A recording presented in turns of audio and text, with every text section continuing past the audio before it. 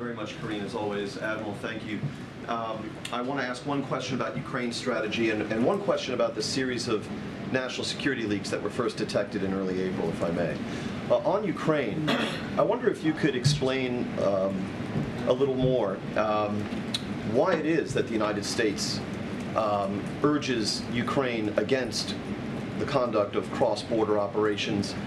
Uh, wouldn't it be the swiftest way to bring this war to a conclusion if Russia were made to feel even a fraction of the kind of pain that it has inflicted on Ukrainian territory?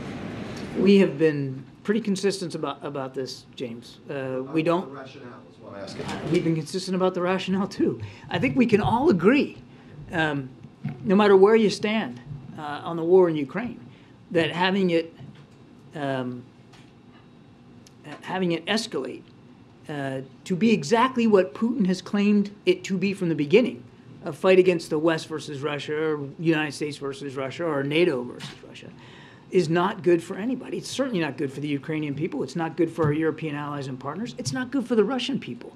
Um, so we don't want to see this war escalate beyond the degree that it's escalated before, and that's been our justification since the very beginning.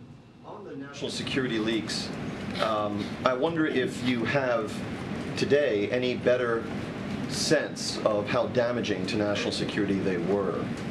I ask this because I was struck by the divergence, if you will, in your comments and those from President Biden on the subject.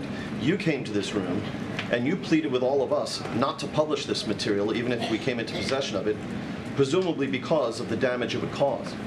Uh, and in fact, even in, in court filings in the ongoing prosecution, federal prosecutors are referring to the great damage caused and the potential for greater damage.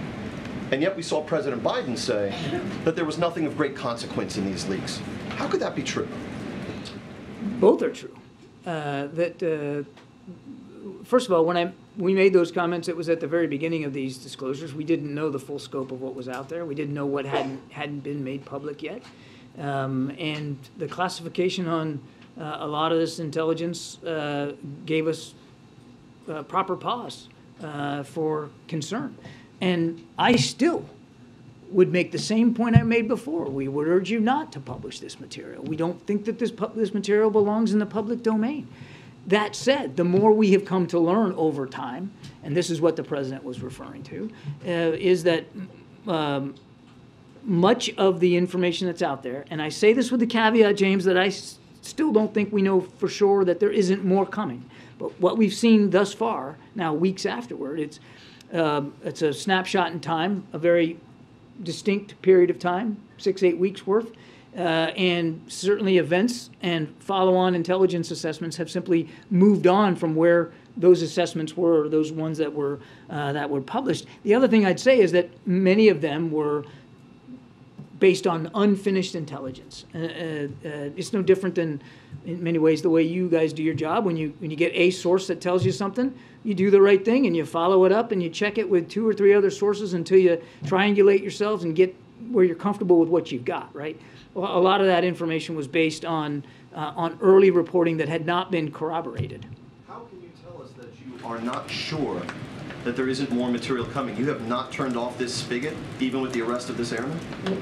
I, what I can tell you is uh, we, we can't say definitively that there couldn't be more documents out there, James. I, I wish we could have a different answer to your question, but uh, but that's that's the honest answer. Now we don't we haven't seen many more disclosures uh, in recent weeks, um, so that's a positive. But it's not like we're gonna uh, go whistling past the graveyard and just say, okay, we're done. I mean, we're gonna keep looking.